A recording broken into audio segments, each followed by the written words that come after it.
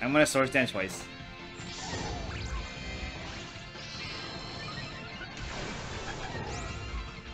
Oh my god, this boar business.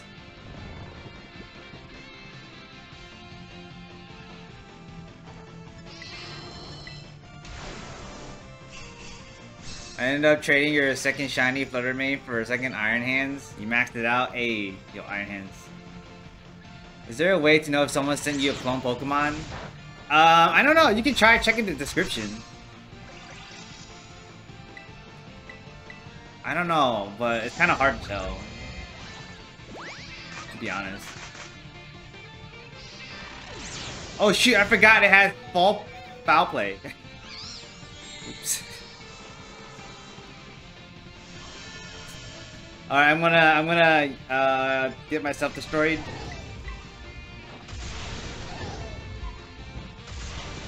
Or, you know, finish it. oh my god. I died too. Yo, work! Work! Work!